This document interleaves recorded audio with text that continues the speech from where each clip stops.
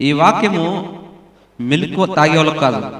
అంటే బైబిల్ ప్రకారము రెండు జనాంగాలు ఉంటారు. ఒకటి పాలు త్రాగేవాళ్ళు ఒకటి బలమైన ఆహారం తినేవాళ్ళు.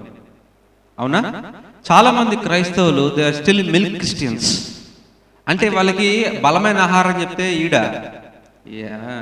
మొత్తం తినేత టైం అని తినేస్తున్నాడు అసలు అబ్బో అసలు ఏం చెప్తున్నాడు అంటే అహో ఏహో అంటా. ఎందుకంటే వాళ్ళకి పాలు తప్ప ఏది ఇచ్చినా వాళ్ళకి ఎక్కదు. చిన్నపిల్లవాడికి పాలు పెడతారు. చిన్న చిన్న పిల్లలకి. బిర్యానీ ప్యాకెట్ పెట్టరు. ఆడి పెద్దయ్యాక ప్యాకెట్ లేపేస్తాడు. పెద్దగా తింటావు కదా చిన్నప్పుడే తిను అంటే తినలేడు. ఎందుకంటే అర్థం కాదు అతనికి చిన్న బిడ్డకి. కాబట్టి ఇది పాలు తాగే వాళ్ళకైతే కాదు బలమైన ఆహారం తిన్న వాళ్ళకి మాత్రము ఇది చాలా ఉపయోగపడుతూ ఉంటుంది. దాదాపు దీంట్లో ఏడు పాయింట్లు ఉన్నాయి. ఆర్థికంగా నేను బలపడాలి. ఆర్థికంగా నేను ఎదగాలి అనుకున్న వాళ్ళకంట బైబిల్లో ఉన్న వాక్యము ఇవాళ బయటపడతా ఉంది. నేను ఆర్థికంగా బలపడాలి. ఎంతమంది అనుకుంటున్నారు నేను ఆర్థికంగా బలపడాలని? నిజంగా? ఏదో అడిగాం కాబట్టి అందరు ఎత్తాలని కాదు. నిజంగా? నాకు ఆర్థికపరమైన ఇబ్బంది ఉంది. నేను ఎక్కడ తప్పు చేస్తున్నాను? ఆ తప్పు ఎక్కడ సవరించుకోవాలా ఎక్కడ సవరించుకోవాలా? అని ఎవరికైతే ఉంది? అందరికి ఉందా? Bhavani very good Bhavani Safia. అసలు ధనాపేక్ష లేదు. అసలు ధనం అక్కర్లేదు అలాగే రైట్ సరే ముందుకు వెళ్ళిపోదాం just joking right first thing line వద్దాం లైన్ వద్దాం. మీ అందరూ తెలిసిందే. దేవుడు ఆశీర్వదించాలి ఫస్ట్ పాయింట్ ఏదైనా సరే ఫస్ట్ ఏం కావాలా? దేవుని ఆశీర్వాదం కావాలా? ఆశీర్వాదం వస్తే మంచి జాబ్ వస్తుంది. ఫస్ట్ పాయింట్ ఏంటి? రాసుకోండి. ఆశీర్వాదం. ఆశీర్వాదం ఉందనుకోండి మనం చదువుకుంటే ఆశీర్వాదం అంటే మంచి ఉద్యోగం వస్తుంది. ఉద్యోగం వస్తే ఏమవుతుంది? ఇన్కమ్ వస్తుంది. అవునా? రెండో point income first thing blessing రెండోది ఇన్కమ్ ఫస్ట్ థింగ్ ఆశీర్వాదం. రెండోది రాబడి వస్తుంది. ఉద్యోగం చేస్తే వస్తుంది రాబడి? రైట్ రాబడి వచ్చిన తర్వాత మూడోది మనం ఏం చేస్తాం?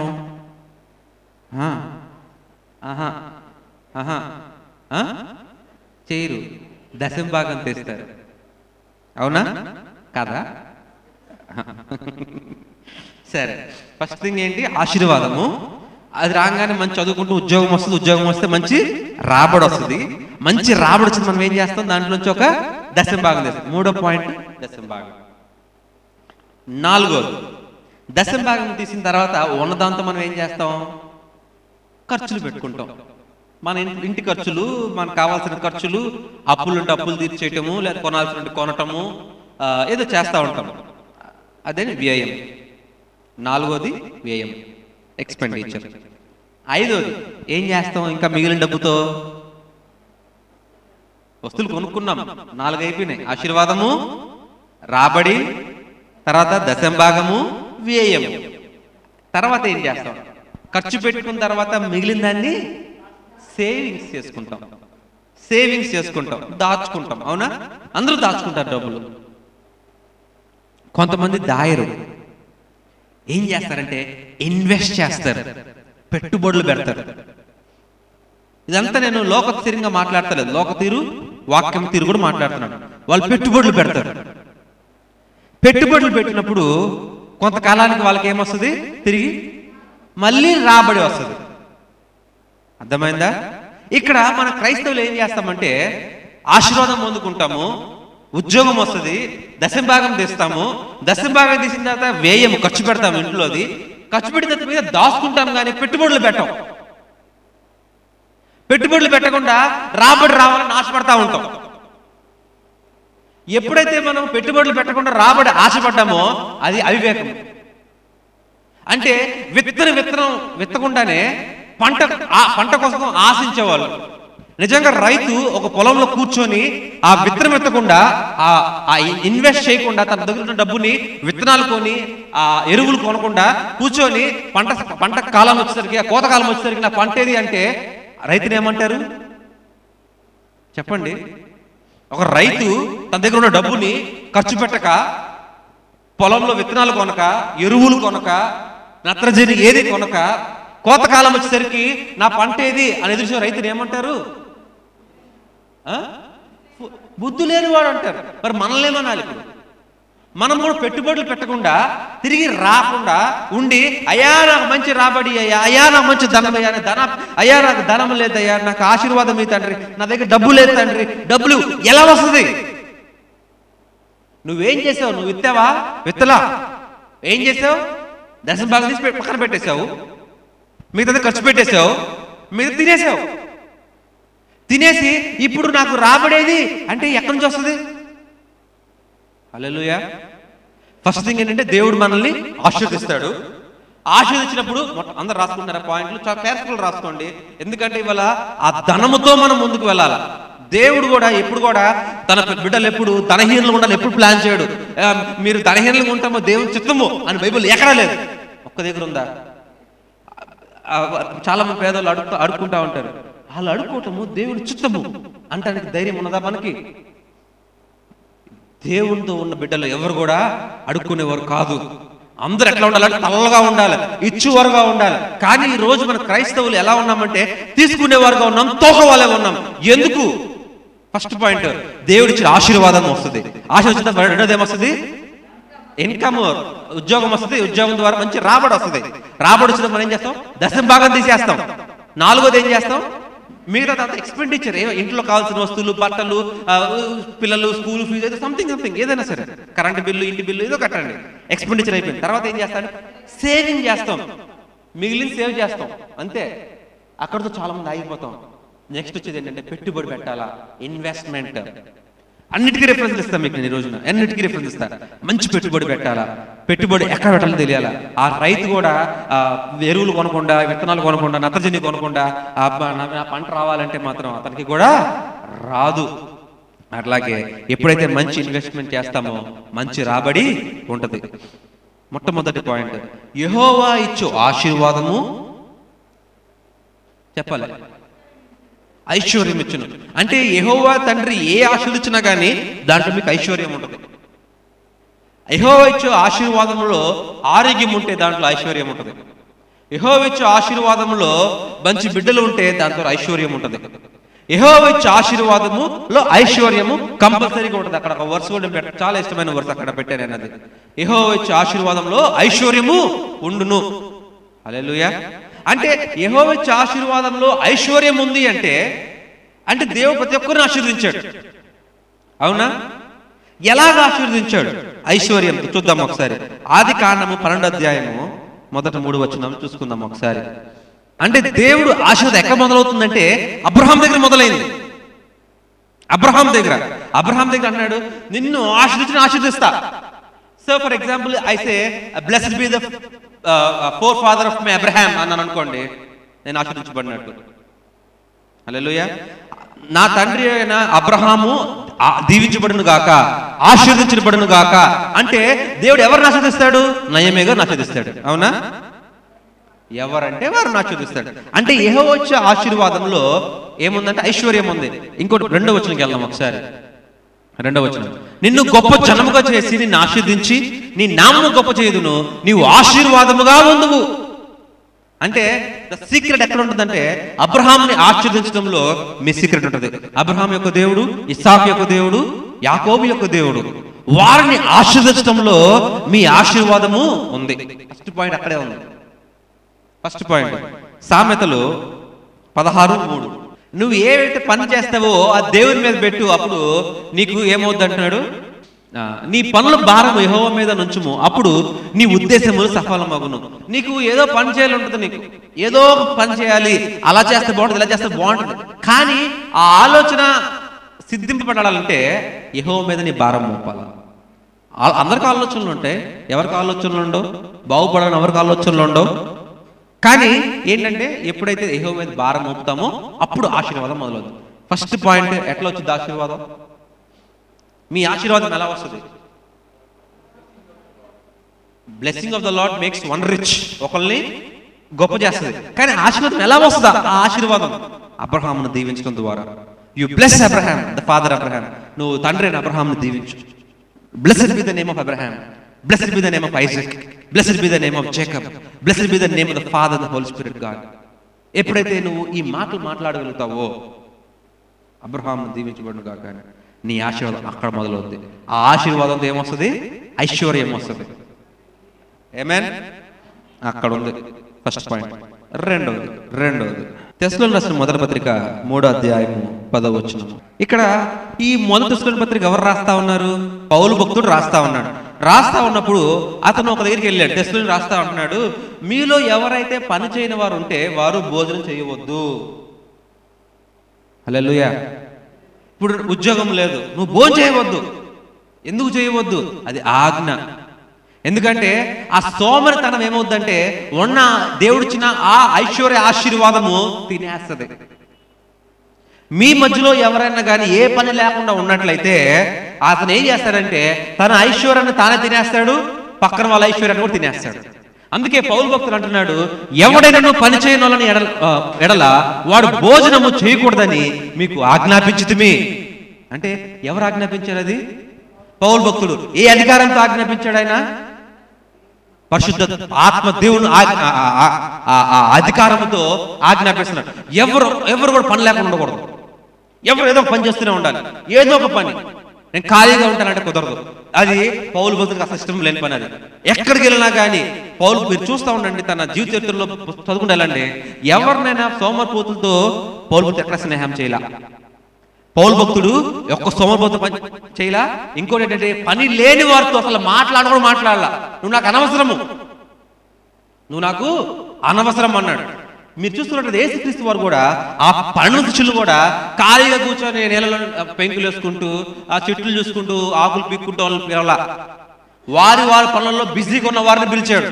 అంటే ఆ ఏం చేస్తారంటే దేవుడు ఆ ఆశీర్వాద ఐశ్వర్యంని మింగివేసి తినివేస్తారు ఏమవుతుంది దానివల్ల తద్వారా? వాళ్ళు బాగుపడరు వాళ్ళ పక్కన వాళ్ళు కూడా ఎప్పటికీ బాగుపడరు. Amen any comment any comment comment ఏముందా కాబట్టి దయచేసి గమనించండి. మీ చుట్టుపక్కల ఎవడైనాను సోమరిపోతు ఉన్నాడలా వారితో మీరు స్నేహించకండి. ఎందుకంటే ఆ సోమరిపోతు చాలా బిజీగా ఉన్నాడు తన ఆశీర్వాద ఐశ్వర్యాన్ని తినివేస్తూ బిజీగా ఉన్న- తింటా బిజీగా ఉన్నాడు. ఏదో రోజు నువ్వు పక్కన ఉంటే నీది కూడా తినేస్తాడు. జాగ్రత్త. హల్లెలూయా. ఒకసారి సామెతలు పది పదహారు చూసుకుందాం. నీతిమంతుని కష్టాజితము జీవదాయక జీవదాయకము భక్తిహీనుకి కలుగు పాపం పుట్టించును. ఏం చేస్తుందంట? ఇప్పుడు ఇప్పుడు ఈ నీతిమంతుడు ఈ నీతిమంతుని కష్టాజితము ఎవరైతే బాగా కష్టపడతారో అట్టి కష్టాజితము ఏంటి ఏమవుద్దంటే అది? అది సేవింగ్స్లో ఉండిపోద్ది అది. జీవాదాయకం అది మనకు ఉపయోగపడతా ఉంటుంది. అదే కనుక ఏ పని చేయకుండా మూర్ఖత్వంతో ఇంట్లో కూర్చొని నేనేం పని చేయను? నేనేం ఇట్లా ఉంటాను? రేపు ఎల్లుండి వస్తుంది. ఆ తర్వాత నేను ఇంకో చేస్తాను ఇంకోటి చేస్తాను అన్న వాటితో ఏమొద్దంట పాపము పుట్టించు ఎట్లాగా దేవుడిచ్చిన ఆశీర్వాదం తినేయటం ద్వారా ఏమొస్తుంది బయటికి? పాపం వస్తుంది. మూడోది పద్దెనిమిది పదకొండుకి వెళ్దాం. పద్దెనిమిది పదకొండు.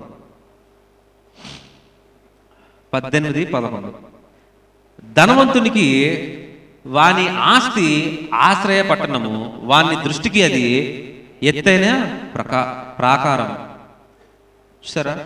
ఎప్పుడైతే ఆశీర్వాదము తినకుండా కష్టపడి దేవునిలో నీతిమంతుడిగా ఉంటామో అతడెవరు ధనవంతునికి వాని ఆస్తి ఆశ్రయ పట్టణము వాని దృష్టికి అది ఎత్తైన ప్రకారము. ఎప్పుడైతే పని చేసుకుంటా ఉంటాడు ఏ పని పాట లేనోడు పక్కన ఉన్నాడు అనుకోండి ఈడు కూడా పోతాడు పక్కకి. ఈడు కూడా పక్కకి పోతాడు. ఫస్ట్ థింగ్ మనం ఏం నేర్చుకుందాం? ఆశీర్వాదం వస్తుంది? అబ్రహాం దీవించడం ద్వారా మనకు ఆశీర్వాదం వస్తుంది. ఇంకా యెహోవా ఆశీర్వాదము ఐశ్వర్యానికి మూలం. ఐశ్వర్యం ఇచ్చును. సో అలాగా మనకు ఆశీర్వాదం వస్తుంది. వచ్చి వస్తున్నప్పుడు ఆశీర్వాదం వస్తున్నప్పుడు సోమరు కూర్చొని తినకూడదు. ఇది ఎవరిచ్చిన ఆజ్ఞది ఈ ఆజ్ఞ ఎక్కడి వచ్చింది ఇది? పరిశుద్ధాత్మ దేవుని ద్వారా. మన పరిశుద్ధాత్మ దేవుని యొక్క నుండి పౌలు భక్తుని ద్వారా మనకు వచ్చింది.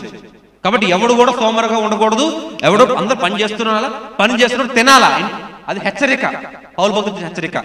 ఈడు తింటా ఉండటం వల్ల ఏమవుద్దంటే ఆశీర్వాదం తినేస్తాడు పక్కన ఆశీర్వాదం తినేస్తాడు. ఎప్పుడైతే అతనికి దూరంగా ఉండి కష్టపడ్డాడు అనుకోండి వాడు ధనవంతునికి వాని ఆస్తి ఆశ్రయ పట్టణము వాని దృష్టికి అది ఎత్తైన ప్రకారముగా తన ఆశీర్వాదం ఉంటుందంట. హల్లెలూయా. ఇప్పుడు మూడో పాయింట్కి వెళ్దాం. మూడో పాయింట్ ఏంటి? దశమ భాగం. అందరు రెడీగా ఉన్నారు కదా? అందరు మిస్ అయ్యారు ఎక్కడన్నా ఎవరన్నా? మిస్ అవ్వద్దండి దయచేసి. లాస్ట్ దాకా మిస్ అవ్వద్దు. ఇది పాలు తాగే క్రైస్తవులకు కాదు బలమైన ఆహారం తినే క్రైస్తవులకు మాత్రమే అర్థమవుతుంది ఇది.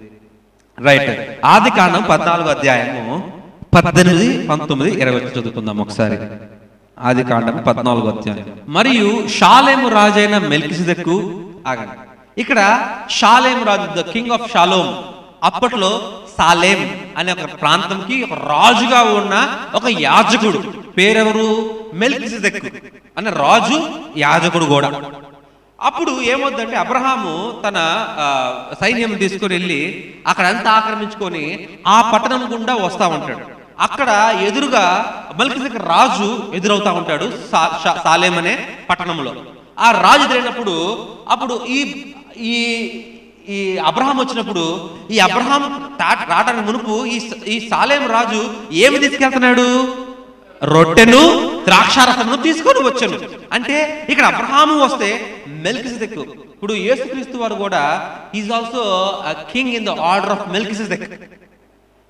Melchizedek ప్రకారము యేసుక్రీస్తు కూడా ప్రధాన యాజకుడు. ఏ రొట్టె ద్రాక్షరసముని ఎందుకు పట్టుకొచ్చాడు అక్కడ? అంటే అక్కడ కమ్యూనియన్. ఒక ఒక పరస్పర సంబంధం కొరకు అబ్రహాముతో చేయాల్సిన సంబంధం కొరకు ఇక్కడ ఏం పట్టుకొస్తున్నాడు? రొట్టె ద్రాక్షం పట్టుకొస్తా ఉన్నాడు తీసుకొచ్చును. అతడు సర్వోన్నతుడు అగు దేవుని దృష్టి అతడు సర్వోన్నతుడు దేవునికి యాజకుడు. ఎవరికి? దేవుని దగ్గర అతను యాజకుడు. నెక్స్ట్కి వెళ్దాం పంతొమ్మిది. అప్పుడు అతడు అబ్రహామును ఆశీర్వదించి ఆకాశమునకు భూమికి సృష్టికర్త అయిన సర్వోన్నతుడైన దేవుని వలన అబ్రహాము ఆశీర్వదించబడును గాక అనియు. నీ శత్రువులను నీ చేతికి అప్పగించి సర్వోన్నతుడైన దేవుడికి తిప్పబడును గాక అనియు చెప్పాను. అప్పుడు అతడు అన్నిటిలో ఇతనికి పదవ వంతము ఇచ్చాడు. అంటే ఇక్కడ స్టోరీ వినండి సార్ అందరూ. అబ్రహాము ఒక వెళ్ళి యుద్ధం గెలుచుకుని వస్తా ఉన్నాడు. మెల్కిసెదెక్ రాజు ఎదురెళ్ళి రొట్టె దర్శనం ఇచ్చాడు ఇచ్చి ఇచ్చి అతను అంటున్నాడు ఇక్కడ ఈ యాజకత్వంలో రెండు రకాలు. ఒకటి మెల్కిసెదెక్ యాజకత్వము రెండోది లేవి యాజకత్వము. మెల్కిసెదెక్ యాజకత్వం ఎలా ఉంటుందంటే ఆశీర్వాదమే.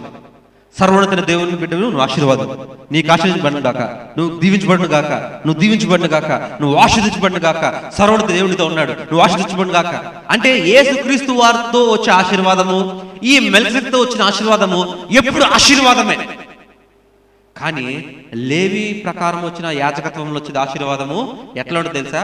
నువ్వు విధేయత కలిగి ఉంటే నువ్వు ఆశీర్దించబడతావు నువ్వు అవిధేయత చూపించబడితే నువ్వు చెప్పించబడతావు. అలెలుయ అది రెండు ఆశీర్వాదాలకు తేడా. ఈ మెలిసి ప్రకారం వచ్చే ఆశీర్వాదం వేరు ఈ లేవి లేవీల యాజకత్వంలో వచ్చే ఆశీర్వాదం వేరు. ఇక్కడ అబ్రహాంకి వచ్చింది ఏ ఆశీర్వాదము? మెల్కిసిదక్ ప్రకారం వచ్చిన ఆ యాజకత్వంలో వచ్చిన ఆశీర్వాదము. రాగానే అబ్రహమాను దీవించబడ్డు గాక ఆ సర్వనత దేవుడు దీవిస్తున్నాడు. ఆశీర్దించబడ్డు గాక ఆశీర్దించబడ్డు గాక అని దీవించగానే అప్పుడు ఏమిచ్చాడంట అబ్రహాము? వచ్చినంతటిలో వచ్చిన అంతటిలో కూడా దశం భాగము ఇచ్చినట్టు కనపడతా ఉంది. అలెలుయ మలాకి మూడు పది. నా మందిరంలో ఆహారం ఉండినట్లు పదయో భాగం అంతయు. మీరు నా మందిరంలోనికి తీసుకురా తీసుకొని రండి. ఇందాక చూసినట్లయితే అబ్రహాము అంతయు తన ఎంత సంపాదించాడో అంతటిలోనే ఇచ్చాడు. కొద్ది కొద్దిగా ఇవ్వాల. పాటలు పాటలు ఇవ్వాల. అంత ఇచ్చాడు. ఇట్లా కూడా మలాగిలో కూడా పదో భాగం అంతయు. సో దశం భాగాన్ని డివైడ్ చేసే అధికారము ఎవరికీ లేదు. సో దశం భాగాన్ని ఎప్పుడు డివైడ్ చేయకూడదు. డివైడ్ చేస్తే ఏమవుతుందో తర్వాత మాట్లాడుకుందాం. ఇప్పుడు ఫర్ ఎగ్జాంపుల్ పదివేలు సంపాదిస్తుంది ఏమన్నా. తర్వాత ఏమనుకుంటుంది అంటే వెయ్యి రూపాయలు దశం భాగం వేయాలా? ఏడు వందలు దశం భాగం ప్రాంతము మూడు వందలు పక్కన పెట్టుకొని వచ్చే నెలతో పాటు ఆ ఆ వెయ్యి రూపాయలు పదమూడు వందలు. వేస్తే ఎలా ఉంటుందని చెప్పి ఆపుతుంది. So you have no right to to put your finger in the money to which God belongs to a పదో వంతు నీది కాదో దేవునిదో దాంట్లో నువ్వు వేలు పెట్టమే కానీ దాన్ని మార్చే అధికారము కానీ దేవుడు నీకు ఇయ్యలేదు. దాంట్లో ఏమవుతుందంటే ముందుకెళ్దాం. దానివల్ల ఏమవుతుందో ముందుకెళ్దాం. సామెతలు పది ఇరవై రెండు. చెల్లి ఇందా మాడుకున్నాం దశమ భాగంలో వేలు పెడితే ఏమవుద్ది? తెలుసుకోవాలి ఎంతమందికి ఉంది ఫర్ ఎగ్జాంపుల్ నేను పది వెయ్యి రూపాయలు ఇవ్వాలి ఇవ్వట్లా. ఏడు వందలు ఇచ్చి మూడు వందలు నాకు ఇవ్వ సార్ నాకు కొంచెం అవసరం ఉంది ఇంట్లో కొంచెం కొనుక్కోవాలి. నెక్స్ట్ మంత్ నేను ఈ మూడు వందలు వేస్తాను ఆ వెయ్యి రూపాయలు వేస్తాను పదమూడు వందలు వేస్తాను. అది దశం భాగం అవుద్ది అది? ఎక్కడ అవుద్ది? అవిద్య దశం భాగం అది? అవ్వదు. నువ్వు వేయవలసిందంతా దశం భాగం అంతయు ఏం చేసావు? ఎక్కువ వేస్తావు అది అవిధేయత. సరే ఒకసారి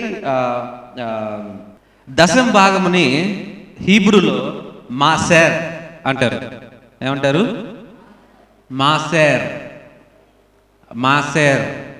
చెప్పండి అందరు మా సేర్. ఇది మెమ్ ఐన్ షిన్ రేష్. మెమ్ అంటే ఎం హీబ్రూలో మెమ్ అంటారు దాన్ని. దాని పక్కన ఉన్నది ఐన్. అవి ఏంటి ఎక్కడ అంటే కీర్తనల్లో నూట పంతొమ్మిది కీర్తనలో ఆ హెడ్డింగ్స్ అన్ని ఇవే కనబడతాయి? హీబ్రూ లెటర్స్ కనబడతా ఉంటాయి. సో మెమ్ ఆయిన్. మూడోది అటు నుంచి చదువుకుంటూ రావాలి అటు నుంచి. షిన్ తర్వాత రేష్. సో మెమ్ ఆయిన్ షిన్ రేష్. దాన్ని మాసేర్ అని పలుకుతారు దాన్ని. దాన్ని ఏమంటారు మాసేర్. ఈ మెమ్ ఫస్ట్ లెటర్ ఉంది ఎల్లో లెటర్ చూసారా అది ఎందుకు ప్రత్యేకించబడింది? అంటే అది నౌన్. అది నామవాచకం. నౌన్. ఎందుకు? మెల్కిజెదెక్ రాజు దశం భాగం గురించి మొట్టమొదటిగా మాట్లాడాడు కాబట్టి అది ఆ నౌన్ కింద వచ్చింది.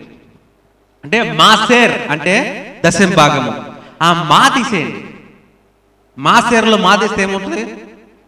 ఆసేర్. ఆసేర్ అంటే ఐశ్వర్యం. హీబ్రూలో ఆసేర్ అంటే ఐశ్వర్యం. అంటే దశం భాగంలో ఏముందంటే ఐశ్వర్యం ఉంది. నువ్వు దశం భాగంలో ఏలు పెట్టావంటే నువ్వు దేంట్లో ఏలు పెట్టినట్టు? నీ ఐశ్వర్యంలో ఏలు పెట్టినట్టు నువ్వు. ఇది నేను రాసింది కాదు ఇది. హీబ్రూలో అట్లాగే రాస్తారు దాన్ని. మన హీబ్రూ బైబిల్స్లో కూడా సేమ్ అంతే ఉంటుంది. కావాలంటే ఒకసారి వెరిఫై చేసుకోండి.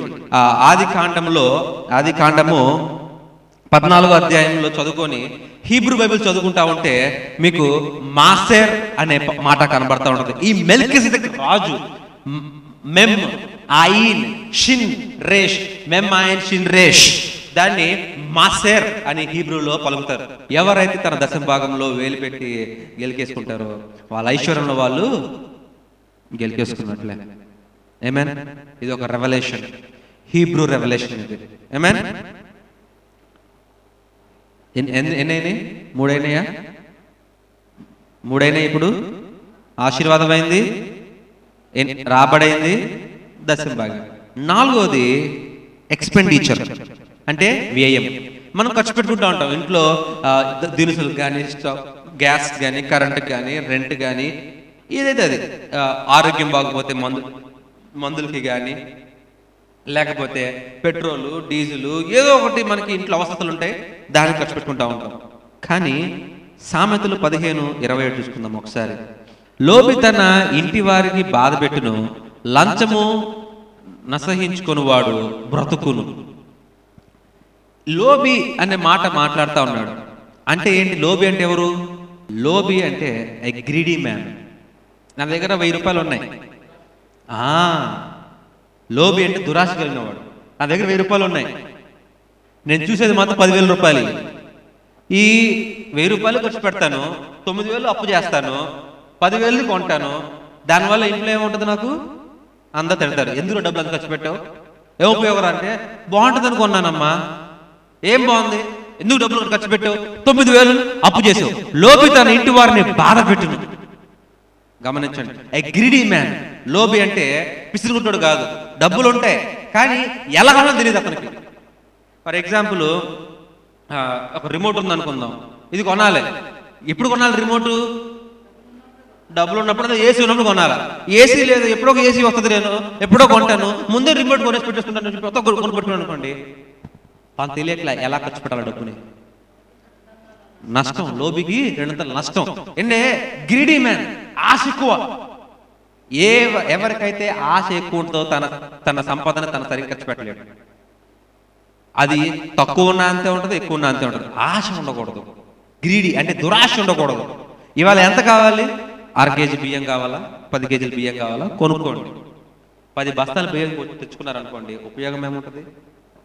పది బస్తాలు బియ్యమే కొనేస్తే మరి కూరగాయలు ఏం కొంటారు? నూనె ఏం కొంటారు? చింతపండు ఏం కొంటారు? పప్పులు ఏం కొంటారు? కాబట్టి దయచేసి గమనించండి. ఎలా ఖర్చు పెట్టుకోవాలి కూడా తెలియాలి. ఎలా ఖర్చు పెట్టాలి లోబి తన ఇంటి వారిని బాధ పెడతాడంట.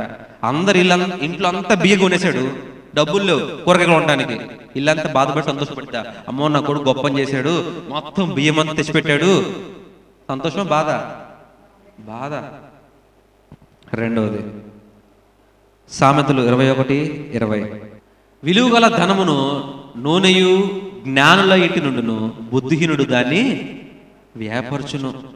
ఈ ఏదైనా సరే మనం బుద్ధివంతులవి జ్ఞానవంతులవి అనుకోవాలంటే మనలో మన దగ్గర ఎప్పుడు ధనము నిలవ ఉండాలంట. మన దగ్గర ఎప్పుడు ధనం ఇది నేను చెప్పిన మాటలు కాదండి. ఎవరు దయచేసి హృదయాన్ని తీసుకోమాకండి. వాక్యపరంగా మాట్లాడుకుంటున్నాం. విలువగల ధనమును నూనెయు జ్ఞానుల ఇంటి నుండును అంటే ఎవరికైతే జ్ఞానం ఉంటుందో వారి ఇంట్లో ధనము ఉంటదంట. మా ఇంట్లో ధనం లేదు. అంటే ఏంటి? నీ జ్ఞానం లేదురా బాబు. నీ జ్ఞానం కూడా లేదు.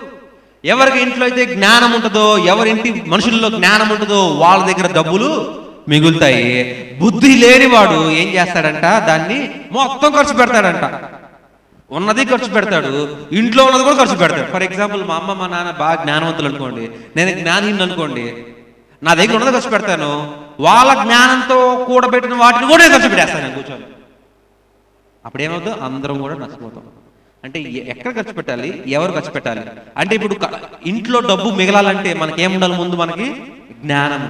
అందుకే దేవుడు ఎవరికైనా జ్ఞానము పొందినలా అది నన్ను అడగండి సందేహింపకుండా అడగండి.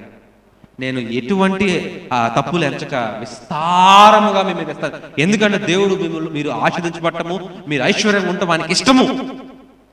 ఆ జ్ఞానం లేకయే ఏం చేస్తారంటే వ్య- వ్యయపరుస్తారంట అందుకనే గమనించండి విలువ గల ధనము నూనెయు జ్ఞానుల ఇంటి ఉండను మీ ఇంటిలో ధనము లేకపోతే ఆ ను- మంచి విలువైన వస్తువులు ఉన్నాయంటే మీరు జ్ఞానవంతులు ఒకవేళ లేకపోతే మాత్రం దయచేసి ఇదే మంచి సమయము ఇదే అనుకూల సమయము ఇవాళ నుంచి సరే అయ్యా నా జ్ఞానం ఇవ్వండి. మా ఇంట్లో ఎందుకు ధనం ఉండట్లేదు? అయ్యా నా ఇంట్లో ఎందుకు విలువైన వస్తువులు ఉండట్లేదు? నా జ్ఞానం ఇవ్వండి. అని నువ్వు ప్రార్థన చేస్తే దేవుడు మీ తప్పులు ఎటువంటి తప్పులు ఎంచకుండా మీ జ్ఞానం ఇస్తాడు. అప్పుడు మీ ఇంట్లో కూడా ఆశీర్వాదము నడుస్తూ ఉంటుంది. ఏమేన్ మూడోది సామెతలు ఇరవై రెండు ఏడు. ఐశ్వర్యవంతుడు బీదల మీద ప్రభుత్వము చేయను. అప్పు చేయువాడు అప్పిచ్చువానికి దాసుడు. అప్పు చేయువాడు అప్పిచ్చువానికి దాసుడు. ఇంకోటి మన దగ్గర ఉన్న డబ్బుని సరిగ్గా ఖర్చు పెట్టుకోవడం మనకు రావాలి? నాలుగు పాయింట్లో ఏంటంటే ఎక్స్పెండిచర్ ఎట్లా ఖర్చు పెడతాం డబ్బుల్ని మనం? బుద్ధి లేని వాడు ఏం చేస్తాడంటే మొత్తం పోగొట్టుకుంటాడు. ఐశ్వర్యం ఉండదు. బుద్ధి లేకపోతే ఇంట్లో ఐశ్వర్యము విలువైన వస్తువులు ఏవి కూడా ఉండవు. అప్పు తీయవద్దు. అప్పు పుట్టించవద్దు. నువ్వు అప్పు పుట్టిస్తే నువ్వు ఇచ్చేవాడుగా ఉండవు తీసుకునేవాడుగా ఉంటావు. నువ్వు అప్పు పుట్టించినట్లయితే నువ్వు తలగా ఉండవు నువ్వు తోకగా ఉంటావు. దేవుని ఆలోచనకి వ్యతిరేకంగా ఉంటావు నువ్వు. దేవుడు ఎప్పుడు కూడా నిన్ను తలగా చూస్తున్నాడు తోక చూడట్లేదు. నేను ఇచ్చేవాడుగా చూస్తున్నాడు తీసుకుని కూడా చూడట్లేదు. కానీ దేవుడి దృష్టికి నువ్వు వ్యతిరేకంగా కనబడుతున్నావు. ఈ పని చేయడం బట్టి. కాబట్టి దయచేసి గమనించండి. ఒకరిదొకరు సహాయం చేసుకోవచ్చు. దాని తప్పు కాదు. సహాయం వేరు అప్పులు చేయడం కన్ఫ్యూజ్ అవ్వద్దు రెండింటికి. కష్టాల్లో సహాయం చేయండి మళ్ళీ తిరిగి ఇస్తాం. ఇది సహాయం. అప్పు కాదు. సహాయం. ఒకళ్ళు సహాయం చేసుకోవటం. అప్పు అనేది వేరు. తీసుకొని ఎప్పుడు ఇస్తాను next time next time next time next time next time next time పుట్టి ద- ఆ తీర ఇంకో దగ్గర ఈ తీర ఇంకో దగ్గర. ఏమవుతుందంటే దానివల్ల అప్పిచ్చువాడు ఏమవుతాడంటే అన్యుడు కూడా దేవుని బిడ్డలకి యజమానుడు అవుతాడు. ఏమేన్ ఏమేన్ విగ్రహారాధికుడు కూడా దేవుని బిడ్డకి ఏమవుతాడు? యజమానుడు అవుతాడు. దేవుని బిడ్డ అగ్రహారాధికుడు ఏమవుతాడు? బానిసను బానిస అవుతాడు. అవునా? వారి ప్రభుత్వము మన మీద నడుస్తూ ఉంటుంది. నడవచ్చా అది? కాబట్టి దయచేసి గమనించండి. ఎవరు కూడా మనసుకు తీసుకోవద్దు. ఇది టాపిక్లో వెళ్ళాలనుకుంది ఇది ఒక three four weeks back two three weeks back design చేసిన వాక్యం ఐదోది. ఐదోది ఏంటిది? ఇప్పుడు ఖర్చు పెట్టేసాము ఖర్చు పెట్టిన దాంట్లో మిగలగా మిగలగా ఏం చేస్తాం మనము? సేవింగ్ చేస్తాం. సేవింగ్ తెలుగులో ఏమంటాం? పొదుపు. పొదుపు చేస్తాం. సామెతలు ఇరవై ఒకటి ఇరవై. సామెతలు ఇరవై ఒకటి ఇరవై. ఇరవై ఒకటి ఇరవై అమ్మా. విలువగల ధనమును నూనెయు జ్ఞానలింటి నుండును బుద్ధిహీనుడు దాన్ని వ్యాపరచును ఓకే. సామెతలు ఇరవై ఒకటి ఐదు. ఇరవై ఒకటి ఐదు.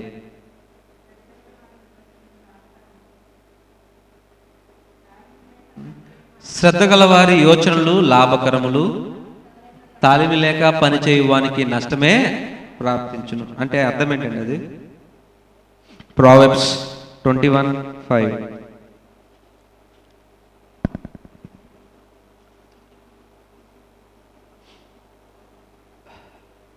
చెప్పండి అర్థమేంటి ఇప్పుడు ఎవరైనా సరే ఈ లాభకరమైన పని చేయాలి అంటే కూర్చొని బుద్ధివంతులుగా ఆలోచించాలి. The plans of a diligent lead to profit as you'll as ఈ లీడ్స్ టు పావర్టీ అంటే ఇప్పుడు నువ్వు డబ్బులు దాస్తున్నావు కదా సేవింగ్స్ చేస్తున్నావు కదా నువ్వు సేవింగ్ చేసినప్పుడు నువ్వు బుద్ధిగా ఉండాలి. నీ ఆలోచనలు బుద్ధిమంతమైన ఆలోచనలు ఉండాలి నీకు. డెలిజెంట్ ప్లాన్స్ అంటే జ్ఞానంతో కూడిన ఆలోచనలు. నువ్వు డబ్బు సమకూర్చాలన్నా కూడా నీకు జ్ఞానం కావాలి. నీకు జ్ఞానం లేకపోయినా నువ్వు డబ్బులు నువ్వు సమకూర్చుకోలేవు. You cannot save the money నువ్వు దాన్ని తెలుగులో ఏమంటారు దాన్ని? పొదుపు చేయలేవు. నువ్వు డబ్బులు పొదుపు చేయాలంటే నీకు జ్ఞానం కావాలి. మళ్ళీ జ్ఞానం కోసం ఎక్కడికి వెళ్ళాలి మళ్ళీ? దేవుని దగ్గరికి వెళ్ళాలి. సామెతలు ముప్పై ఇరవై ఇరవై నాలుగు ఇరవై చూసుకుందాం ఒకసారి. భూమి మీద భూమి మీద చిన్నవి నాలుగు కలవు అయినను అవి మిక్కిలి జ్ఞానము గలవి. చీమలు బలము లేని జీ- జీవులు అయినను అవి వేసవిలో తన ఆహార తమ ఆహారమును సిద్ధపరచుకోను. ఉమ్. భూమి మీద ఉన్న నాలుగు విషయాల్లో చాలా ఒక తర్వాత ఇంకో విషయానికి వెళ్దాం. చీమలు కూడా ఏం చేస్తాయంటే సమ్మర్లో బాగా కొడగొట్టుకొని వింటర్కి అవి దాచుకుంటాయి తినడానికి. అంటే ఏం చేస్తాయి పొదుపు చేస్తున్నాయి. సేవింగ్స్ చేస్తున్నాయి. చీమల దగ్గర నేర్చుకోండి అన్నాడు. సేవింగ్. ఎప్పుడు సేవ్ చేయాలి? ఎప్పుడైతే మీకు బాగా నికర లాభం వస్తా ఉందో అప్పుడు ఏం చేయాలంటే మీరు ఖర్చు పెట్టకూడదు. ఫర్ ఎగ్జాంపుల్ నేనే అనుకుందాం. నాకు ఒక మంచి ఒక నేను మంచి ప్రాజెక్ట్ పెట్టాను ప్రాజెక్ట్ స్టార్ట్ చేశాను. ఆ ప్రాజెక్ట్ స్టార్ట్ అయినప్పుడు మంచి డబ్బులు వస్తాయి నాకు. అప్పుడు ఏం చేయాలా? డబ్బులు వస్తాయి కానీ ఖర్చు పెట్టకూడదు. దాయాల ఫస్ట్ దాయాలా దాయాల దాయాల. ఏదో ఒక రోజు ప్రాజెక్ట్ అయిపోద్ది. ఏదో రోజు కష్టం వస్తుంది. అప్పుడు దాన్ని తీసి బయట పెట్టాలా? సంపాదిస్తున్నాం కదా అని ఖర్చు పెట్టే అధికారం మీకు లేదు. హల్లెలూయా. సంపాదిస్తున్నారు కాబట్టి మీరు దాన్ని ఏం చేయాలి దాన్ని? పొదుపు చేయాలి. మీరు సంపాదించవచ్చు లక్ష రూపాయలు సంపాదించవచ్చు. కానీ ఆ లక్ష రూపాయలు అనవసరమైన ఖర్చులకి మీ సోకు బోగులకి కానీ దేనికి కానీ మీరు వాడడానికి మీకు అధికారం లేదు. మీకు వచ్చిన ఏదైనా కానీ చీమ దగ్గర నేర్చుకో. దేవుడు చూపించిన చీమ దగ్గర నేర్చుకో. నువ్వు పదివేలు సంపాదిస్తున్నావా? నేను ఖర్చు పెడతాను ఎంత? కుదరదు. దాయి మొత్తం దాయి లోపల దాయి. కావాల్సింది కొద్ది కొద్దిది కొద్ది కొద్దిది కొద్ది కొద్దిది. నీకు కష్టకాలం వస్తుంది ఒక రోజు ప్రతి ఒక్కరికి వస్తుంది కష్టకాలం. అప్పుడు ఆ డబ్బు వాడాలి? ఇష్టానుసారంగా మీరు పొదుపులు చేయకుండా మీరు వాడటానికి మీకు అధికారము లేదు. ఎందుకంటే ఆ ధనము ఐశ్వర్యం మీకు ఇచ్చింది ఎవరు? దేవుడు. మన సంపాదించింది కాదు. కాబట్టి దయచేసి గమనించండి. ఎవరైతే పది రూపాయలు సంపాదిస్తారో ఆ పది రూపాయలు దాచగలిగే బుద్ధి ఉన్నవాడే ఖర్చు పెట్టడానికి అర్హుడు. తొమ్మిది రూపాయలు నేను నేను నాకు పది రూపాయలు వస్తున్నాయి కదా నేను నాలుగు రూపాయలు ఖర్చు పెడతాను. ఈసారి బయటకు వెళ్ళాలను రెండు మూడు నెలల నుంచి బయటకు వెళ్తలేదు నేను అసలు. నేను హోటల్కి వెళ్ళాలి నేను షాపింగ్కి వెళ్ళాలి నాకు నేను మంచి బట్టలు కొనుక్కోవాలి. ఉన్నాయి బట్టలు బట్టలు కొనుక్కోవాలి చెప్పులు కొనుక్కోవాలి అది కొనుక్కోవాలా. నాకు కార్ పాత అయిపోయింది కార్ మార్చేయాలా. డబ్బులు వచ్చినాయి ప్రాజెక్ట్కి కార్ మార్చేయాలి. ఈ కారు సరిగ్గా రాక టైర్లు మార్చాలా. దానికి టైర్కి పెద్ద టైర్లు వేయించాలి బాగా కనబడుతుంది. లోపల ఈ చేయాలా ఈ చేయించాలి ఈ చేయించాలా. నీకు అధికారం లేదు దాన్ని ఖర్చు పెట్టడానికి. ఎవరైతే డబ్బులు సంపాదిస్తారో వారు దాచుకోగలిగిన వారు ఉంటే దాన్ని ఖర్చు పెట్టడానికి అర్హులు. లేకపోతే దాచే దాచే జ్ఞానం లేక నువ్వు ఖర్చు పెట్టావంటే ఏమో తెలుసా? ఏమవుద్ది? మీ ఇంట్లో ఏ ఐశ్వర్యం ఉండదు మీ ఇంట్లో నూనె విలువల వస్తువులు ఉండవు. నువ్వేమైపోతావు? నువ్వు లోబి అయిపోతావు నువ్వేమైపోతావు? లోబి. ఏమి ఉండవు. నీ ఇంట్లో వారికి నువ్వేం చేస్తావు? అవమానం తెచ్చి పెడతావు ఏమే తర్వాత ఐదో పాయింట్. బోర్ కొడుతుందా? కరెక్ట్గా ఉన్నారుగా? ఐదోది. ఐదోది ఏంటమ్మా? పెట్టుబడి ఇన్వెస్ట్మెంట్ ఇన్వెస్ట్మెంట్లు పెట్టచ్చా? మ్యూచువల్ ఫండ్స్ లేకపోతే ఎల్ఐసి పాలసీలు లేకపోతే సబ్జెక్ట్ మార్కెట్ అంటూ ఉంటారు. అదంతా చేయొచ్చా లేదా? ఎలా మనము పెట్టుబడులు పెట్టాలి? నేర్చుకుందాం. మధ్యరసం సువార్త ఆరో అధ్యాయము పంతొమ్మిది నుంచి ఇరవై ఒకటి వచ్చిన చూసుకుందాం ఒకసారి. మత్తరసన సువార్త ఆరో అధ్యాయము పంతొమ్మిదో వచనం. భూమి మీద మీ కొరకు ధనమును కూర్చుకొని వద్దు ఇక్కడ చెమ్మటియు తుప్పును తినివేయు దొంగలు కన్నము వేసి దొంగిలిద్దురు. పరలోకమందు మీ కొరకు ధనమును కూర్చుకొనుడి అచ్చట చిమ్మటైనను తుప్పైనను దాన్ని తినివేయదు. దొంగలు కన్నము వేసి దొంగలి నీ ధనం ఎక్కడుండునో అక్కడే నీ హృదయము ఉండును. అక్కడ దేవుడు ఏమన్నాడంటే నువ్వు డబ్బు సేవ్ చేసుకున్నావు కదా నువ్వు ఖర్చు పెట్టుకో. నీకు ఆశ తెచ్చాను నీకు మంచి రాబడి వస్తుంది. రాబడి దశభాగం తీసావు. దశభాగం తీసిన తర్వాత ఏం చేసావు? ఉన్న విషయాలు ఖర్చు పెట్టుకున్నావు సేవ్ చేసుకున్నావు. ఇది ఇక్కడ దాకా లోకం దాకా. ఇప్పుడు నువ్వు అడుగుతావు అయ్యా నాకు మళ్ళీ ఇది రొటీన్ అయిపోతా ఉంటుంది ఇప్పుడు కూడా. అయ్యా డబ్బు కావాలి. అయ్యా నాకు ఆశీర్వాదం కావాలి. అయ్యా నాకు మంచి డబ్బు కావాలి. అప్పుడు నువ్వేం చేయాలి? ఇన్వెస్ట్ చేయాలి. ఎలా ఇన్వెస్ట్ చేయాలి? పరలోకంలో ఇన్వెస్ట్ చేయాలి. పరలోకం ఇన్వెస్ట్ చేయాలి. ఎలా చేస్తారు పరలోకం ఇన్వెస్ట్మెంట్? ఎక్కడైతే ఆ ఆ- నోట్లకి చదువు తినేయచ్చు తుప్పు వచ్చేయచ్చు దొంగలు దొంగ ఒకటి వచ్చి కన్నం వేసి దొంగలించవచ్చు. కానీ పరలోకం నుంచి ఇన్వెస్ట్మెంట్ దొంగలింపరు. ఫర్ ఎగ్జాంపుల్ మీరు సేవింగ్ చేసుకున్న అమౌంట్ ఫర్ ఎగ్జాంపుల్ మీరు బ్యాంకులో దాచుకున్నారనుకోండి పది లక్షలు దాచుకున్నారనుకోండి బ్యాంక్ బోర్డు తిప్పేస్తే ఆర్బీఐ మీకు లక్ష రూపాయలు వేస్తుంది తెలుసా మీకు ఆ విషయం? పది లక్షలు సంపాదించుకొని మీరు సేవ్ చేసుకొని బ్యాంకులో దాచుకుంటే ఆ బ్యాంకు కనుక బోర్డు తిప్పివేస్తే రిజర్వ్ బ్యాంక్ ఆఫ్ ఇండియా మీకు లక్ష రూపాయలు వేస్తుంది. తొమ్మిది లక్షలు మీరు లాస్ అవ్వాల్సిందే. తప్పదు. అదే కనుక ఇన్సూరెన్స్ డిపార్ట్మెంట్ ఐఆర్డిఏ నువ్వు ఎంత దాచుకుంటావో అక్కడ కన్నం వేయడానికి ఏమీ లేదు అక్కడ. ఎందుకంటే డబ్బు డబ్బు రూపంలో ఉండదు. అది- ద్రవ్య రూపంలో మారిపోతుంది మారిపోయినప్పుడు దాన్ని దొంగిలించడానికి కూడా అవకాశం ఉండదు.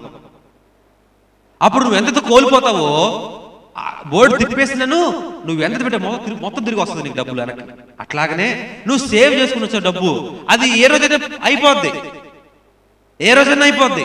ఎవరైనా దొంగలించవచ్చు ఎవరైనా కన్నం వేయవచ్చు లేకపోతే ఇంట్లో వాళ్ళే తీయవచ్చు లేదా చదలు తినేయవచ్చు. ఎప్పుడైతే నువ్వు పరలోకం ఇన్వెస్ట్ చేస్తావో నువ్వు ఎంత ఇన్వెస్ట్ చేస్తావో దానికి భయపడే డబ్బు నీకే వస్తుంది. హల్లెలూయా. ఎలా ఇన్వెస్ట్ చేయాలి? పేదలకి ఆకలిగా ఉన్న వారికి అన్నం పెట్టాలి. నేను చందా వేస్తున్నాను నేను దశంభాగం ఇస్తున్నాను నేను చర్చిలో ఫంక్షన్ చేస్తే డబ్బులు ఇస్తున్నాను అన్నీ చేస్తున్నాను నేను. సువార్థికులు వస్తున్నారు నేను సువార్త చెప్పడానికి కాకుండా డబ్బు చేతికి డబ్బులు ఇస్తున్నాను అన్నీ చేస్తున్నాను. నువ్వేం చేస్తున్నావు అంటే నువ్వు సహాయం చేస్తున్నావు అంతే. నువ్వు ఇన్వెస్ట్ చేసుకోవట్లా. ఇన్వెస్ట్ చేయట్లా. ఎలా చేయాలా? ఆకలితో ఉన్న వాడికి వెళ్ళి అన్నం పెట్టండి. నీ దశ భాగంలోంచి పెట్టమాకండి. నీ కానుకల్లోంచి పెట్టమాకండి. నువ్వు సేవ్ చేసుకుంటూ వచ్చావా మొత్తం డిసెంబర్ ఎక్స్పెండిచర్ సేవింగ్ ఆ సేవింగ్లో కొంత అమౌంట్ తీసుకెళ్ళి పేదవాడికి అన్నం పెట్టు ఆకలిగా ఉన్నవాడికి బట్టలు లేని వాడికి బట్టలు ఇవ్వు. పేద విధవర ఆటల దగ్గరికి వెళ్ళి మీరు పరామర్శించి వారికి కావాల్సింది మీరు సమకూర్చి పెట్టండి. తద్వారా మీరు పరలోకంలో మీరు ధనముని సమకూర్చుకుంటారు. That is called perfect heavenly investment ఇది బైబిల్ చెప్పే ఇన్వెస్ట్మెంట్ ఇది చేయకుండా మనం రాబడి రావాలి అయ్యా నాకు రాబడి అయ్యా నాకు జీతం పెంచు అయ్యా నాకు ఆశీర్వాదము నాకు డబ్బు కావాలి అంటే ఎక్కడ చూస్తావు ఎక్కడ ఇన్వెస్ట్ చేసావు నువ్వు డబ్బులు రావడానికి రైతు ఆ డబ్బు ఆ విత్తన డబ్బులు బయట తీయకుండా విత్తనాలు కొనకుండా ఆ పొలం దగ్గరికి వెళ్ళి నా పంట ఎప్పుడు వస్తుంది? నా నా గోధుమలు ఎప్పుడు వస్తాయి? నా వరి ఎప్పుడు వస్తుంది చూస్తాడా? ఉన్న డబ్బులు తీసుకెళ్ళి విత్తనాలు నత్రజని అన్ని కొని వేసి నీళ్ళు పెట్టి చూసుకుంటే ఒక రోజు తనకి పంట వస్తుంది. ఇన్వెస్ట్ చేస్తున్నాడు రైతు అక్కడ. మరి నువ్వు ఎక్కడ ఇన్వెస్ట్ చేస్తున్నావు? క్రైస్తవులు ఇన్వెస్ట్మెంట్ ఎక్కడ చేస్తున్నారు? ఇన్వెస్ట్ చేస్తే ఎలా చేస్తా తెలుసా? మత్తరసం సువార్త ఆరో అధ్యాయము నాలుగు వచ్చిన చూద్దాం ఒకసారి. మత్తరసం సువార్త ఆరో అధ్యాయము మొదటి నాలుగు వచ్చిన చూద్దాం ఒకసారి. అట్లయితే రహస్యమందు చూచు నీ తండ్రి నీకు ప్రతిఫలం ఇచ్చును. మనుషులు కనబడవలనని వారి ఎదుట మీ నీతి కారము చేయకుండా జాగ్రత్త పడుడి. లేనిడల పరలోక పొందిన మీ తండ్రి మీరు ఫలము పొందరు. అంటే నేను అందరికి భోజనం పెడతా. నేను అందరికి బట్టలు ఇస్తా. రండి రండి ఫోటోలు తీయండి. మీడియా రావాలి. పాంప్లెట్లు. అందరు వచ్చి అందరు వచ్చారా? లైన్లు వచ్చినారా ఫోటో తీయండి. ఈ పేదోడు పోయాడు. ఎవడో తెలియదు. రైట్. కావున నీవు ధర్మము చేయనప్పుడు మనుషుల వలన ఘనత నొందమని వేషధారులు సమా సమాజ మందిరములలోను వీధుల్లోను చేయులాగిన నీ ముందర బోర ఊద ఊదంపవద్దు వారు తమ ఫలము పొంది ఉన్నవారని నిశ్చయముగా మీతో చెప్పుచున్నాను అంటున్నాడు దేవుడు. నెక్స్ట్ మూడోది. ఎవరు చేస్తారు ఈ పనులన్నీ? మనకి బాగా తెలుసు పబ్లిసిటీ పిచ్చర్ ఉన్నాడు మనకు ఒక మన స్టేట్లో పబ్లిసిటీ పిక్చర్ ఒక ఉన్నాడు ఏ ఒక చిన్న పని చేసినా పెద్ద పెద్ద బోర్లు కట్అవుట్లు బో బ్యానర్లు ఏముండదు అక్కడ అయినప్పటికీ నీవైతే ధర్మము చేయనప్పుడు నీ ధర్మము రహస్యముగా నుండు నిమిత్తము నీ కుడి చేయి చేయనది నీ ఎడమ చేతి తెలియకుండా ఉండలేను. నాలుగవది. అట్లయితే రహస్యము చూచిన నీ తండ్రి నీకు ప్రతిఫలము నిచ్చును. అంటే ఫర్ ఎగ్జాంపుల్ నేను పేదవాడికి అన్నం పెట్టాలి పేదవాడికి నేను అన్నం పెట్టాలి భోజనం పెట్టాలి బట్టలు ఇవ్వాలి వైద్యానికి మందులు ఇవ్వాలి అన్ని చేస్తా ఉన్నప్పుడు అందరిని పిలిచి ఫోటోలు తీయండి. ఆ బ్రదర్ మీరు వచ్చి చెప్పి చెప్తా ఉండండి. ఇప్పుడు బ్రదర్ పాస్టర్ గారు వచ్చి అందరు ఇస్తారు అని చెప్పి ఇంట్రెస్ట్ ఇవ్వండి. మీరు చెప్పండి కొట్టండి మీరు పాటలు పాడండి. అని చేయవద్దు బోర్ వదవద్దు దేవుడికి నచ్చదు అది. అలా చేస్తే వారికి ఇవ్వాల్సిన దేవుడు వాళ్ళకి ఇస్తాడంట. అన్నాడు బైబిల్లో అట్లాగా? రెండో వచ్చింది రెండో వచ్చిన వారు తమ ఫలము పొంది ఉన్నారని నిశ్చయముగా మీరు చెప్తున్నాను. ఆల్రెడీ వారు వాళ్ళకి ఫలం పొందుకున్నారు దానికోసం. వాళ్ళు చేసిన తప్పు పనికి వారి ప్రతిఫలం వచ్చేసింది దానికి ఆల్రెడీ చాలా చేయవద్దు నువ్వు ఎవరికైనా చేయాలంటే వెళ్ళిపో. కామ్గా చేసేయి. ఎవరికి చెప్పొద్దు. This how you invest invest చేసినప్పుడు ఫర్ ఎగ్జాంపుల్ అంతెందుకు చాలా మంది ఎల్ఐసి పాలసీలు చేస్తాం. ఎల్ఐసి పాలసీలు ఆ పాలసీలు ఈ పాలసీలు చేస్తాం.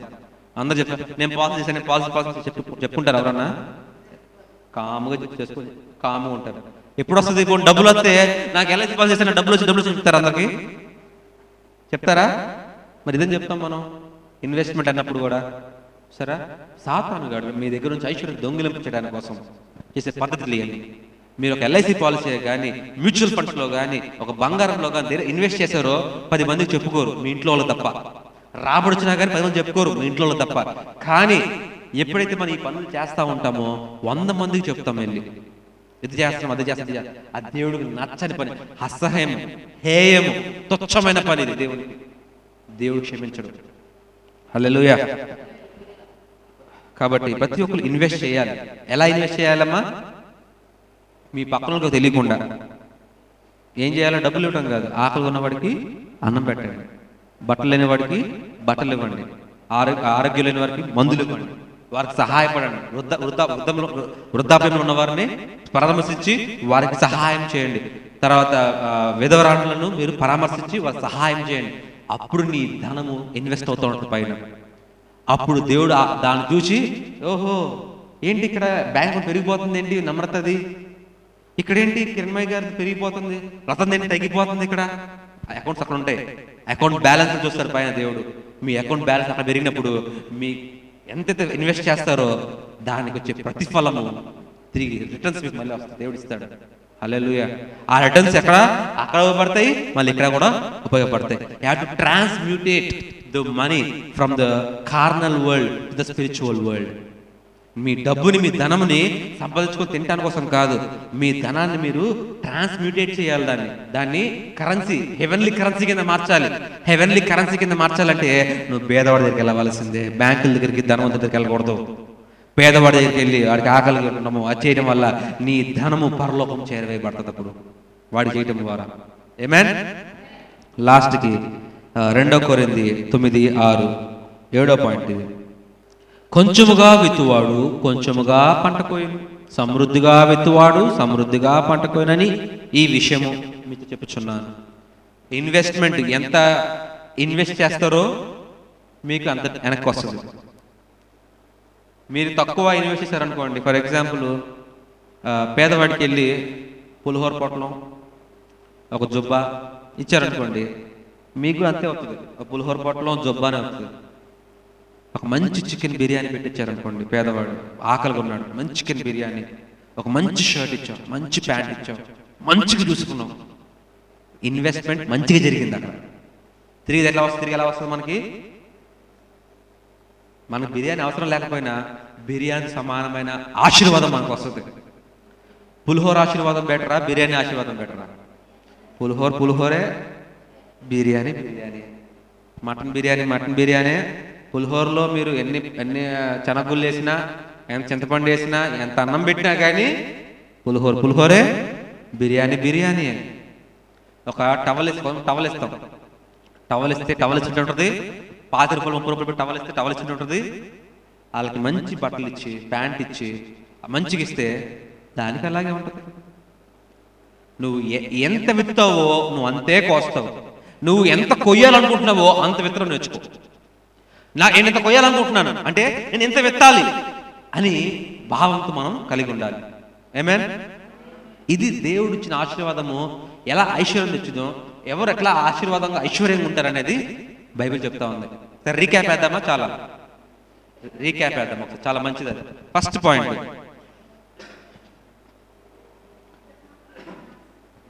ఫస్ట్ పాయింట్ ఏంటి? బ్లెస్సింగ్ రెండో పాయింట్ ఏంటి? ఇన్కమ్ మూడో పాయింట్ టైత్. నాలుగో పాయింట్ ఎక్స్పెండిచర్. ఐదో పాయింట్ సేవింగ్స్. ఆరో పాయింట్ ఇన్వెస్ట్మెంట్స్. ఏడో పాయింట్ వచ్చేసి రిటర్న్స్. ఫస్ట్ చూసుకుందాం. ఆశీర్వాదం. మన ఆశీర్వాదం ఎలా వస్తుంది? First point. నువ్వు నీ తండ్రిని అబ్రహాముని నీ తండ్రిని ఇస్సాకుని నీ తండ్రిని యాకోబుని నువ్వు ఆచరించడం ద్వారా ఆశీర్వాదం నీకు వస్తుంది. దేవుడు చెప్ చెప్పాడట చెప్పాడు ఆయన. ఆశీర్వదించడం నేను ఆశీర్దిస్తా నేను గొప్ప చేస్తా. నేను గొప్ప ప్రజ జనాంగంగా చేస్తా అన్నాడు. ఆశీర్వాదం అలా వచ్చింది బయటికి. అలా వచ్చినప్పుడు నెక్స్ట్ ఏంటి? అది ఆశ వచ్చినప్పుడు ఏం చేస్తామంటే మనం బాగా చదువుకుంటాము. చదువుకుంటే మంచి ఉద్యోగం వస్తుంది మన జీతం వస్తుంది. మన జీతం వచ్చినప్పుడు మనం ఏం చేస్తామంటే దాంట్లో ఇన్కమ్ రాగానే దాన్ని ఫస్ట్ ఏం చేస్తామంటే దాంట్లో దశం భాగము పక్కన పెడతాం. ఈ దశం భాగం పక్కన పెట్టేస్తాం.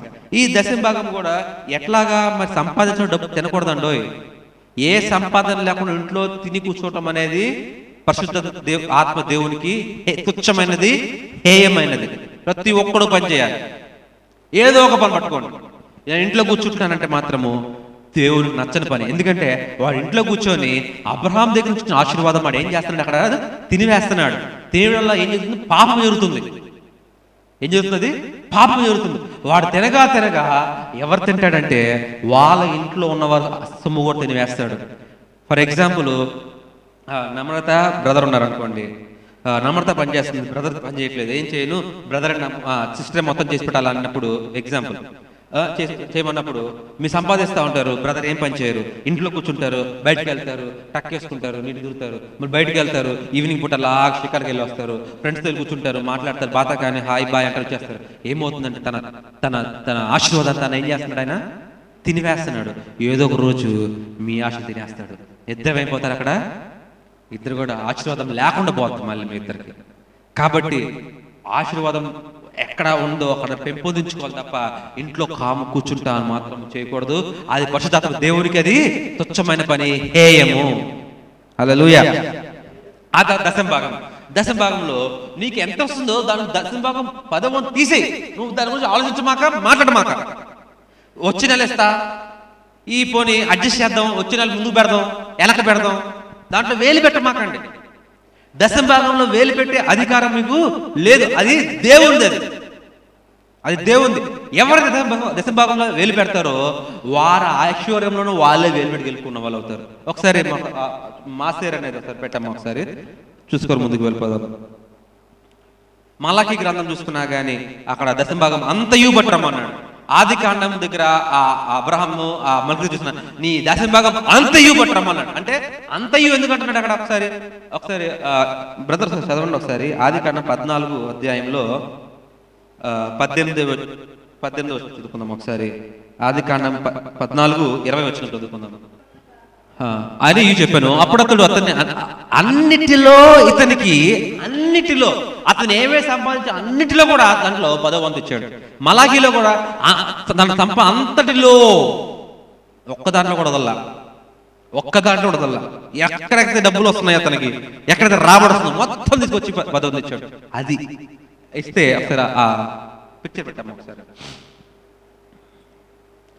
సో ఈ దశమ భాగం గురించి మరొక ఎవరంటే మీరు రాసుకోండి ఈ హీబ్రూ లెటర్స్ కూడా మీరు రాసుకోండి పడతాయి ఈ దశమ భాగం అంటే మెమ్ అయిన్ ఆ, షిన్ రేష్ మా సేర్ అనే వర్డ్ అది.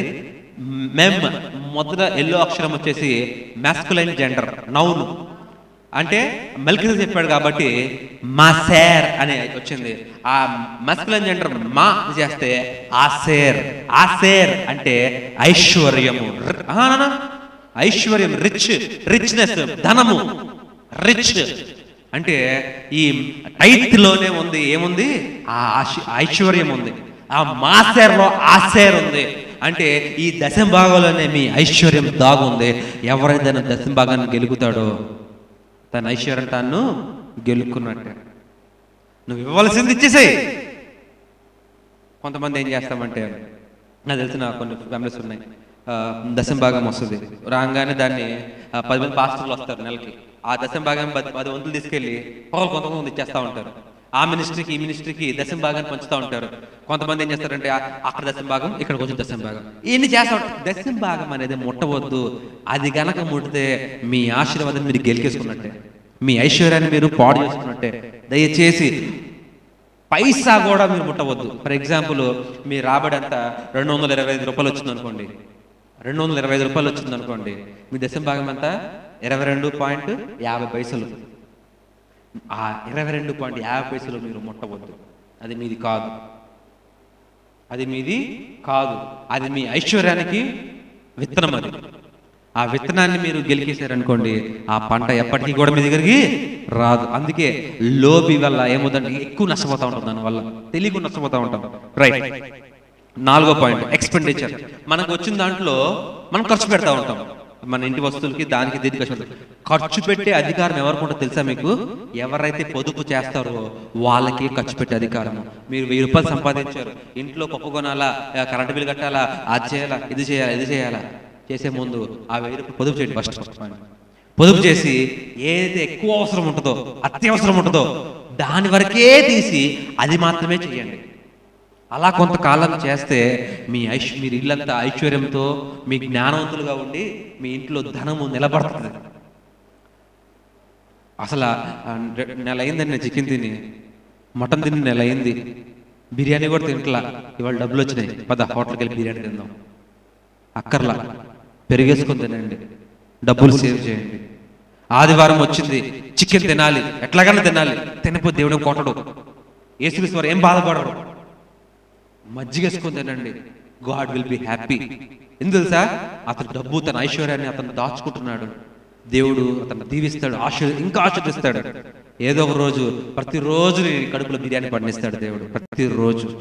హలెలుయ నేను దాచుకోవడం తెలియాలి. దాచుకోవడం తెలియకపోతే నేను ఖర్చు పెట్టు ఉండొచ్చు డబ్బులు. రబ్బర్ చెప్పులు వేసుకుని మనం తనడు. వెయ్యి రూపాయలు చెప్పులు అయినక్కర్లా. డబ్బులు ఉండవచ్చు. మంచి మంచి కాస్ట్లీ బట్టలు అయినక్కర్లా. ఏది ఉంటే తెసుకోవచ్చు నీ డబ్బులు నువ్వు గనక దాచగలిగే శక్తి నీకుంటే దేవుడు నిన్ను ఒక రోజు ఒక ఒక వాక్యం ఉంది.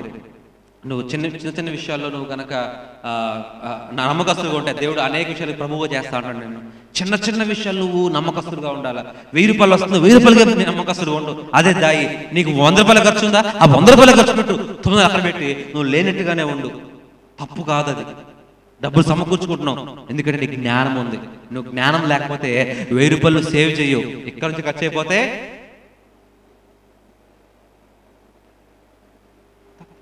ఇది ఇంకా దీని తెలియదు కాదు ఈ విషయం. అందరికీ తెలుసు మనకి. ఏదో ఒక రోజు మనం చేసి చాలా ఏమేన్ రైట్ అట్లా ఎక్స్పెండిచర్ చేయాలి. ఎవరు ఖర్చు పెట్టే అధికారం ఎవరికి ఉంటుంది? సంపాదించి దాచేవాడికే ఉంటుంది. ఖర్చుపెట్టే అధికారం మీ సొమ్మును మీ పిల్లలు ఖర్చుపెట్టే అధికారం లేదు. మీ సొమ్ము నీ పిల్లలు ఖర్చుపెట్టే అధికారం లేదు. నా సొమ్ము నా కూతురు ఖర్చుపెట్టే అధికారం లేదు. ఆ దేవుడు నాకు ఇచ్చింది అది. నేను తన బాగోగులు చూడాలి తప్ప ఆమె నా ఐశ్వర్యాన్ని ఖర్చు పెట్టే అధికారం అమ్మకు లేదు. అట్లాగే మీరు కూడా గమనించండి. ఇది చాలా ఆజ్ఞ. నా పిల్లలే కదా ఈ డబ్బు వాళ్ళు కాదు ఇంకెవరిది అంటారు. నో నో నో అది వాళ్ళ కాదు. దేవుడు అది నువ్వు చేసిన కార్యములు నీకు ఇచ్చిన ఆశీర్వాదం అది. వాళ్ళకి ఇచ్చిన ఆశీర్వాదం కాదు. నీ బిడ్డ కూడా ఆచరణ ఆశీర్వాదం పొందాలనుకుంటే దేవుడు నీకే నేర్పించు నువ్వు వాళ్ళని నేర్పించు. అప్పుడు అందరూ ఆశీర్వాదపడతారు.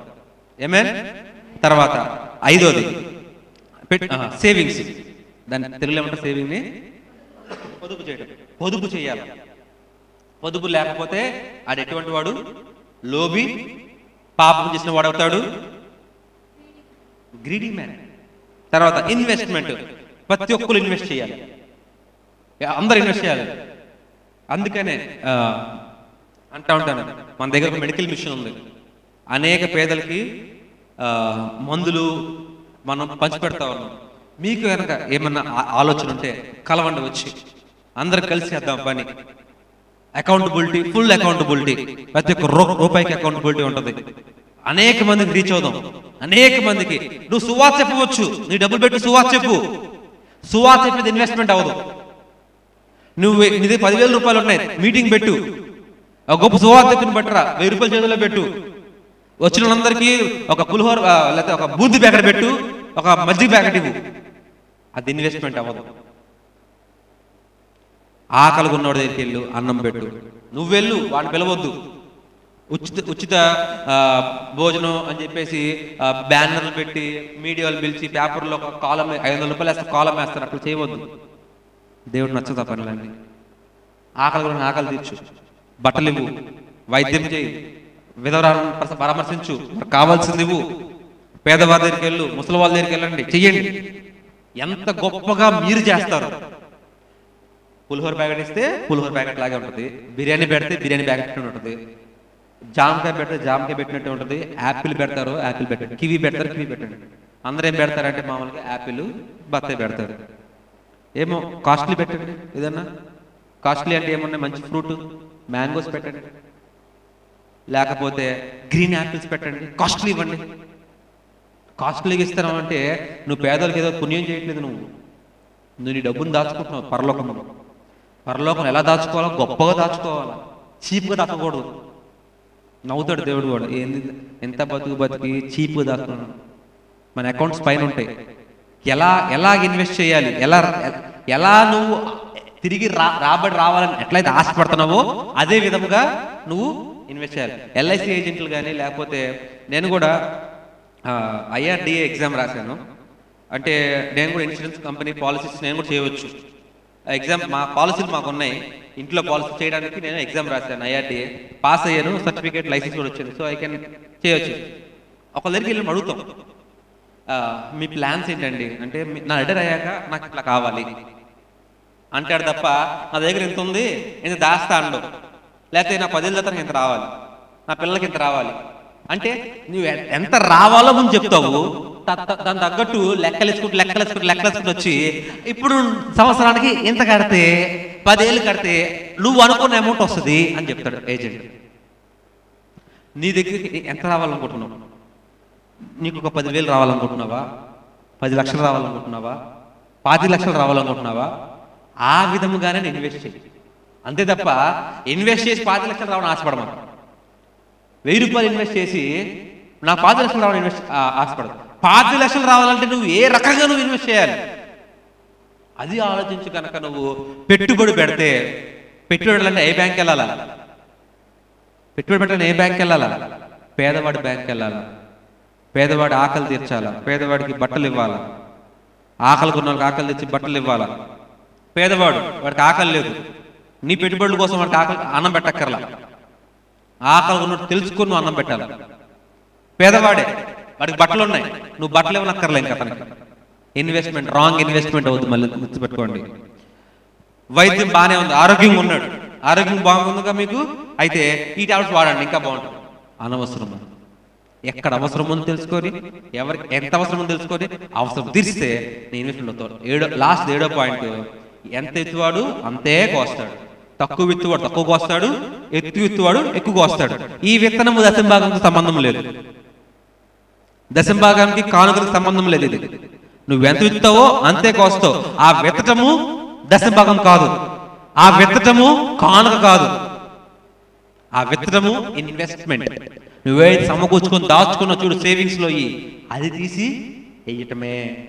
సేవింగ్స్ చేసుకున్న దాన్ని నువ్వు ఇన్వెస్ట్ చేసుకోవాలి తప్ప నువ్వు టైత్రీని ఇన్వెస్ట్ చేయకూడదు. నీ కానుకల్ని నీ ఆఫరింగ్స్ నువ్వు ఇన్వెస్ట్ చేయడానికి నీకు అధికారము లేదు. ఏమేన్ ఎప్పుడైతే ఈ ఎన్ని పాయింట్లు కరెక్ట్గా నడుస్తాయో ఆశ్రదించబడతాడు ఏమైనా డౌట్స్ ఉన్నాయి మీకు దీంట్లో? దీంట్లో ఏ ఒక్క పాయింట్ కలిపి చెప్పానా? ఒక్కటన్నా. వాక్యంలో ఆల్రెడీ ఐశ్వర్యం ఉందండి. యెహోవా ఆశీర్వాదము ఐశ్వర్యం ఇచ్చు ఐశ్వర్యం తినేస్తున్నారు చాలామంది. ఎవరు? మనమే. ప్రార్థన చేసుకుందాం.